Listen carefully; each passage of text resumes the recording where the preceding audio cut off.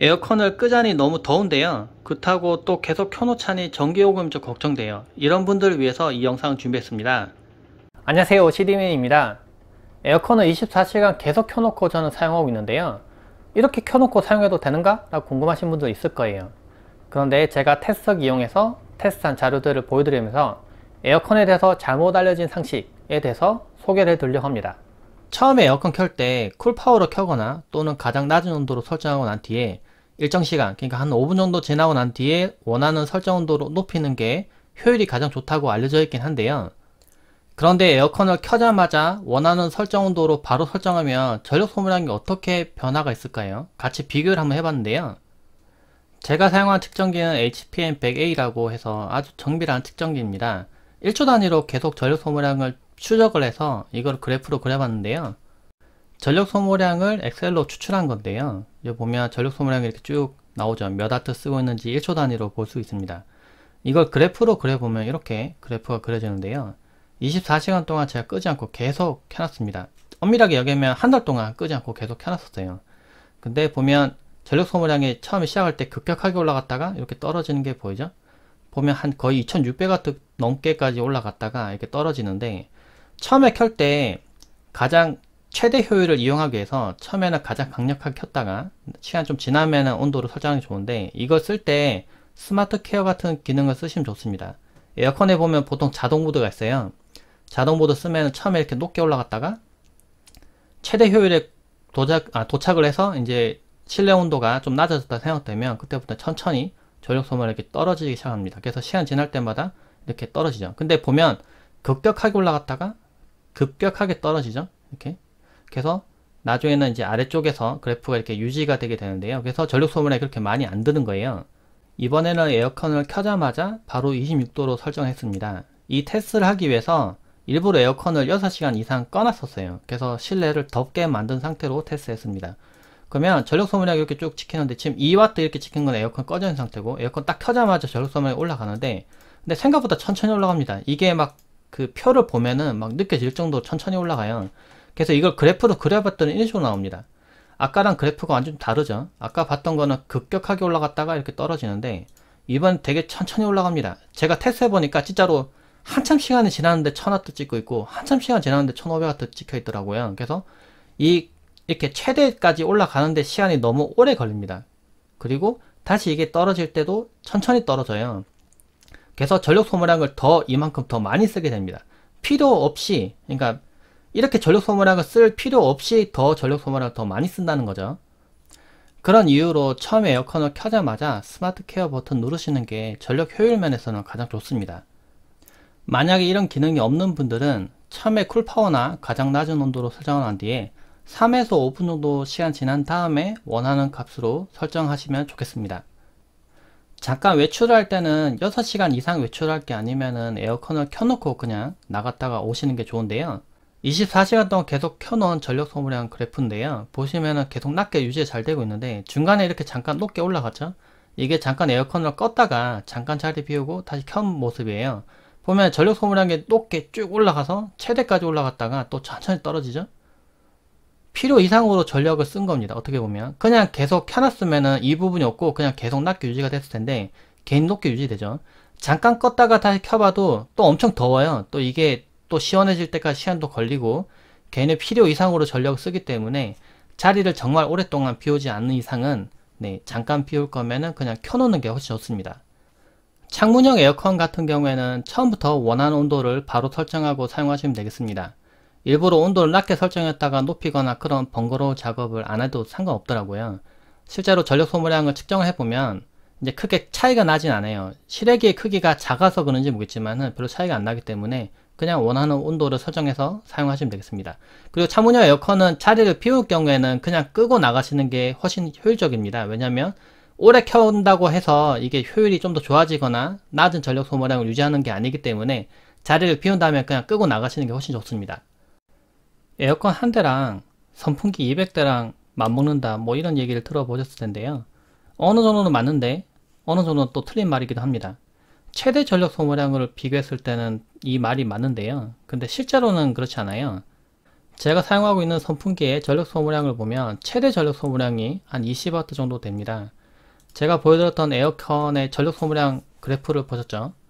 최대로 동작할 때는 한 2600W 정도까지 사용하는데 근데 실제로 하루 종일 켜놓고 사용해 보면은 한 250W, 한 200W 정도를 유지를 합니다. 그래서 계산을 해보면은 한 12대, 13대 정도 켜놓은 것과 비슷합니다. 그리고 참고사항이지만 AC 모터를 사용하는 그런 선풍기들보다 그러니까 좀 구형 선풍기죠.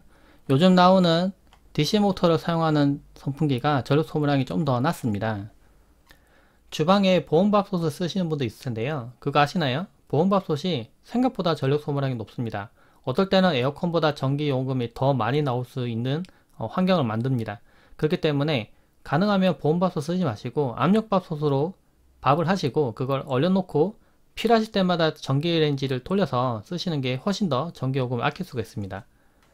에어컨은 제습기 역할도 같이 합니다. 제습기하고 다른 점은 적정 수치까지만 습도를 낮추는데요. 제습기는 코피가 날 정도로 습도를 낮추지만 에어컨은 적정하게 사람이 생활하기 편할 정도로까지만 습도를 낮춥니다. 절전 냉방을 하는 방법도 있는데요. 절전 방법도 여러 가지가 있었습니다. 풍량을 좀 약하게 한다거나 또는 냉방 성능을 좀 더 떨어뜨린다거나 한쪽 팬을 막는다든가 여러 가지 방법이 있는데 제가 직접 해보니까 절정 냉방은 말 그대로 전력 소모량이 줄어들긴 하는데 냉방 능력이 떨어져요. 그래서 굳이 이걸 하는 것보다는 실내 온도를 1도 정도 올려놓는 게 더 효과가 좋습니다. 제스 모드를 사용하면 전기 요금이 좀 더 적게 나온다고 알려져 있는데 근데 제가 막상 해보니까 이게 크게 의미가 없었어요.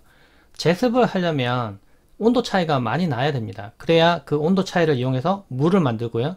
그 물을 배출하면서 이제 제습을 하는 거거든요. 제습 모드를 사용할 때 실내는 공기가 덥고 실외는 비가 와서 만약에 온도가 낮은 상태라고 하면 효과가 좋을 수 있습니다. 근데 그게 아닌 상태에서 만약 돌리면은 온도 차이가 별로 안 나기 때문에 에어컨이 좀 더 온도를 낮추기 위해서 더 강력하게 돌아갑니다. 그래서 전기 요금이 더 많이 나올 수도 있어요. 리모컨에서 원하는 설정 온도를 정하면 그 온도로 바람이 나오는 걸로 알고 계신 분도 있더라고요. 근데 실제로는 토출구에서 나오는 바람은 온도가 많이 낮습니다. 이렇게 찬바람이 나오면서 실내 온도하고 섞여서 어떻게 보면 실내 온도를 자기가 정한 온도대로 맞출 수 있는 거죠. 리모컨의 설정 온도를 몇 도로 해야 되는지 궁금해 하시는 분들 있을 겁니다. 근데 이건 사용자마다 다를 수 있습니다. 집안의 환경이나 실외의 온도가 얼마나 높은지에 따라서 다르게 설정하셔야 되는데요.